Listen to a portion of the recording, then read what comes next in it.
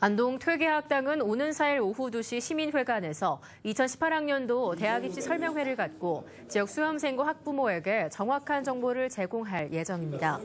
강사에는 진학 전문가 김박현 강사와 대학 수학능력시험 검수위원을 역임한 김학수 선생 등이 초빙돼 3시간에 걸쳐 차별화된 입시 정보와 학습 전략 등에 대해 설명합니다. 참가 학부모 등에게는 다양한 입시 정보 자료집과 기념품을 무료로 배급합니다.